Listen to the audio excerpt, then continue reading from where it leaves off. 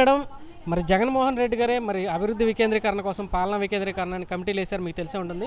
ఆ కమిటీ రిపోర్టుల్లో వాళ్ళకి కావాల్సినటువంటి అంశాలను మాత్రమే ముందుగా జనాలందరికీ చెప్పారు. మరి మీరు న్యాయస్థానాలను ఆశ్రయించి రిపోర్ట్ మొత్తం చూసిన తర్వాత అందులో వచ్చినటువంటి విషయాలు కూడా మీకు చూసే ఉంటారు. దీనిపైన మీరు ఏం మాట్లాడతారు? జిఎన్ రావు కమిటీ వాళ్ళు ఇచ్చిన రిపోర్టు జగన్ గారికి సరిగ్గా చదవలేన చదవలేదని మాకు అర్థమైంది ప్రస్తుతానికైతే.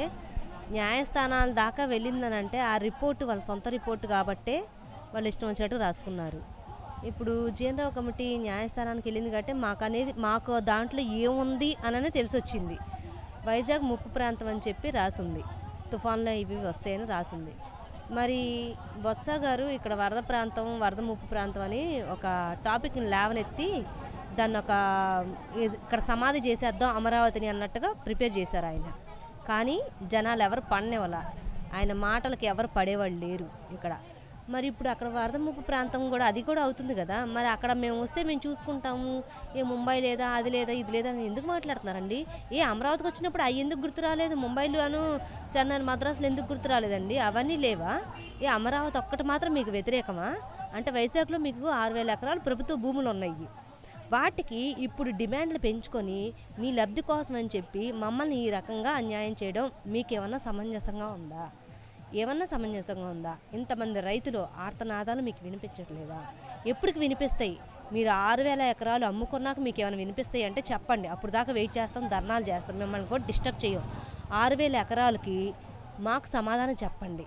అక్కడ కూడా ఎవ్వరూ మిమ్మల్ని నమ్మి ఎవ్వరు భూములు ఇచ్చే పరిస్థితిలో లేరు.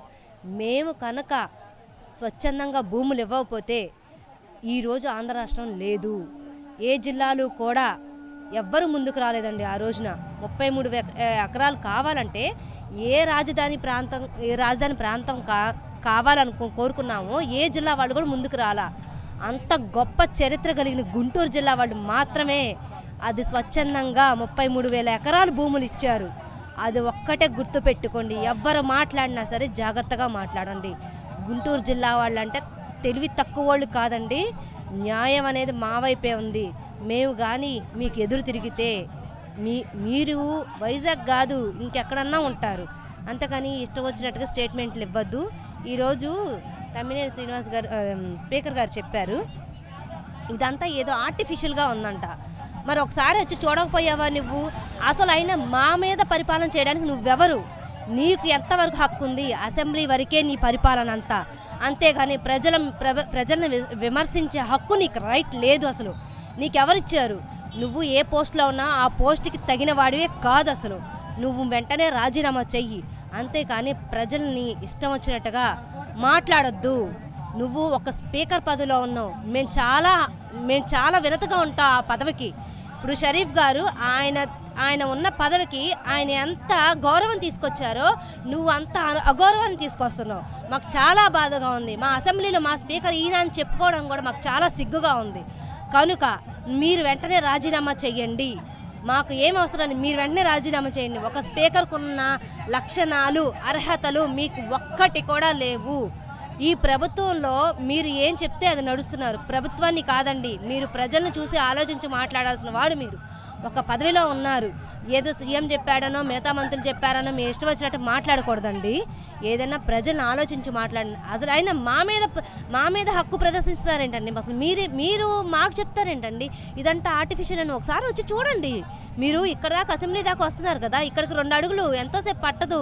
మీకు రాలేకపోతే మా వాహనం పంపిస్తాం. రండి వచ్చి చూడండి ఆర్టిఫిషియల్ ఇంకోటి ఏంటో ఇంకోటి ఏంటో చూపిస్తాం మేమంటే. ర్యాలీలు జరుగుతున్నా మీ కళ్ళు మరి కళ్ళు పోయినాయేమో. చూస్తున్నారేమో మీరు టీవీలో చూస్తూనే ఉంటారు కానీ నిద్ర అసెంబ్లీలో నిద్రపోతున్నట్టు ఇంట్లో పద్దాకు వారు ఇరవై నాలుగు గంటలు నిద్రపోతూనే ఉంటారా ఇంట్లో కానీ అప్పుడప్పుడు టీవీలు చూస్తూ ఉంటారుగా మా ర్యాలీలు మా ప్రదర్శనలు మా ఇంటర్వ్యూలు అన్నీ చూస్తూనే ఉంటారుగా. అప్పుడైనా అర్థం కావట్లేదా మీకు స్పీకర్ గారు? ఇప్పటికైనా మేల్కోండి అసెంబ్లీలో నిద్ర మానేసి ప్రజల బాధలను పట్టించుకోండి. అంతేగాని ఇష్టం వచ్చినట్టు మాట్లాడితే మాత్రం ఇదే మీకు లాస్ట్గా స్పీకర్ పదవి వస్తుంది అంతే. అంతేగాని ఇంకొకసారి మీకు స్పీకర్ పదవి కాదు కదా ఏదో అడుక్కునే పోస్ట్ కూడా ఎవరు ఇవ్వరు. అది ఒక్కడే గుర్తుంచుకోండి. పిచ్చి పిచ్చి మాటలు మాత్రం మాట్లాడొద్దు.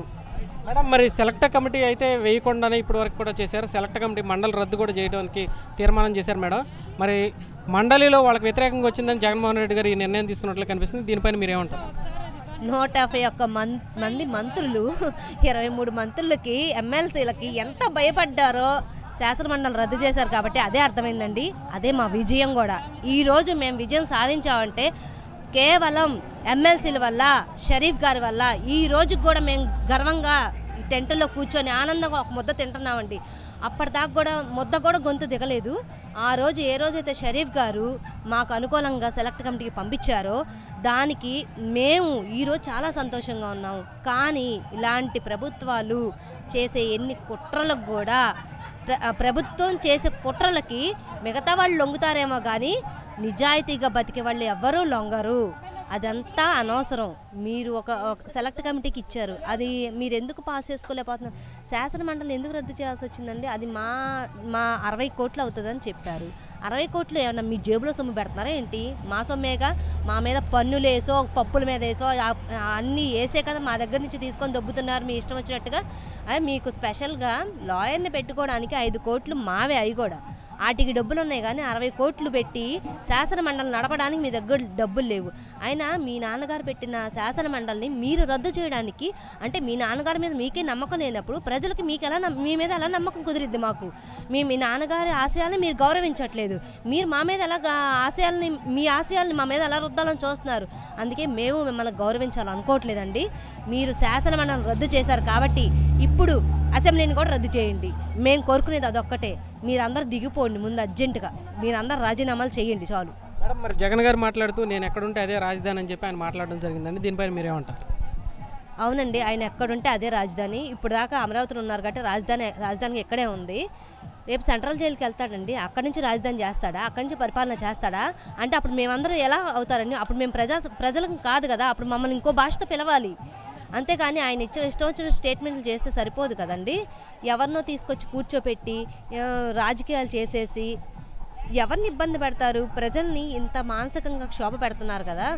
ఇప్పుడు మీరు సెంట్రల్ జైల్లో కూర్చుంటారు. ఎగ్జాంపుల్కి మమ్మల్ని అందరినీ మా మా బాధలు మా ఎమ్మెల్యేలు మా బాధలు మా ప్రజల బాధల్ని మీకు సెంట్రల్ జైలుకి వచ్చి చెప్పుకోమంటారా ఏంటి రోజు? ఎక్కడికి వచ్చి మేము మీరు క్యాబినెట్ అక్కడే పెట్టుకుంటారా? రాజధాని కూడా అక్కడే పెట్టేసుకొని అక్కడే పరిపాలించండి. అది అప్పుడు జైలు అవ్వదండి. మీకు సగ్- తగిన శిక్ష పడుతుంది. పడటానికే పడటానికే మీ మీ చేతులారా మీరే మీ ప్రభుత్వాన్ని నాశనం చేసుకుంటున్నారు. అంతే కానీ ఒకళ్ళ బాగు గురించి ఏ రోజు మీరు ఆలోచించలేదు. అంతే. మేడం మరి మీ ఎమ్మెల్యే ఉండవల్లి శ్రీదేవి గారే మూడు రాజధానులకి మద్దతుగా మరి జగన్ గారికి ఇక్కడే పాలాభిషేకం చేశారు. దీనిపైన మీరేమంటారు? ఉండవల్లి శ్రీదేవి అంటే ఎవరో తెలియదండి అది చచ్చిపోయి మాకు నలభై ఐదు రోజులైంది. మొన్నటి దాకా కూడా మాకు సంఘీభావం తెలుపుకోవాలని చెప్పి మేము అడిగాము. కానీ ఈ రోజు వరకు కూడా ఆవిడ ఆవిడ గారిలో ఆడతనం కానీ స్పందించడం కానీ ఏమీ లేదు. ఆ గుండెంట జగన్ జగన్ అని కొట్టుకుంటుందంట. మరి మరి ఆ భారత్ ఎవరో మరి ఏమెవరో నాకు అర్థం కావట్లేదు. కనుక ఇప్పుడు ఆడ ఆడదాని ఉండి ఆడదానిలాగే మాట్లాడమ్మా ఉండవల్లి శ్రీదేవి గారు. ఇప్పటికి కూడా మిమ్మల్ని గౌరవంగానే సంబోధిస్తున్నాం. అంతేగాని అగౌరవంగా సంబోధించట్లేదు. మీరు ఆడవాళ్ళ తరపున మాట్లాడండి. అంతేగాని డప్పులు కొట్టుకుంటా జగన్ గారికి వెనకాల డప్పు బ్యాచ్ లాగా మాత్రం తయారవ్వద్దు. ప్రజలు మిమ్మల్ని ఎన్నుకున్నారు. ప్రజాస్వామ్యంలో ప్రజలు ఎన్నుకుంటేనే మీరు నెగ్గారు. కనుక ప్రజల బాధలన్నీ మీరు పట్టించుకొని వాళ్ళకి ఏం కావాలో వాళ్ళకి ఏం అవసరం వాళ్ళ బాధలు ఏంటి అన్నీ కనుక్కోండి. అప్పుడు రేపు మీరు ఎలక్షన్స్ మళ్ళీ వచ్చినప్పుడు మేమే స్వచ్ఛందంగా మిమ్మల్ని గెలిపిస్తాం. అంతేకాని మీరు తిరగాల్సిన అవసరం లేదు. మేమే తిరుగుతాం మీ వెనకాల కార్యకర్తలాగా. అంతేకాని ఇష్టం వచ్చినట్టుగా అక్కడ కూర్చొని ఇక్కడ కూర్చొని పాలాభిషేకాలు చేసుకుంటే నేను ఎత్తి మీద కొట్టుకోవడానికి పాలాభిషేకాలు. దేని చేస్తున్నావు పాలాభిషేకాలు. ఏం చేసి వచ్చాడని వాడు? పాలాభిషేకాలు చేస్తున్నావు? అవన్నీ కాదు. పాలాభిషేకాలు కూడా పాలు కూడా దండకి గేదెలు కూడా ఫీల్ అవుతున్నాయి ఆ పాల వల్ల. ఇంక ఇవన్నీ వద్దు ఇవన్నీ ఆపేసేసి ప్రజల సమస్యలను పట్టించుకోండి ఇప్పటికైనా. ఇప్పటికైనా మీరు మా దగ్గరికి వస్తే మీరు బతుకున్నారని మేము ఒక నమ్మకంతో ఉంటాం. అంతేకాని ఇప్పుడు కూడా ఇప్పుడు మీకు ఇంకా మిగతా మూడు మండలాలు ఉన్నాయని చెప్తున్నారు కదా ఆ మూడు మండలాలు నేను తిరుగుతున్నాను అని అంటున్నారు. ఈ మండలం ఏం పాపం చేసింది మీకు? తుళ్ళూరు మండలం ఏం పాపం చేసింది?